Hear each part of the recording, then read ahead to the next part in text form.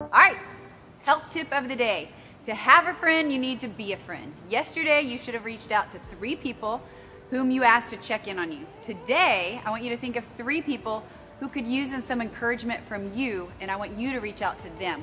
Simply share with them what you're doing and learning about and some of the goals and changes that you're making, and tell them that it would be more fun if they joined you. Or maybe you just need to remind them of last week's principles that they are fearfully and wonderfully made. Pay them a compliment. Share with them something that you think is just wonderful about them. Proverbs 16:24 says, "Gracious words are like honey, sweet to the soul and healing to the bones." So go heal some bones today.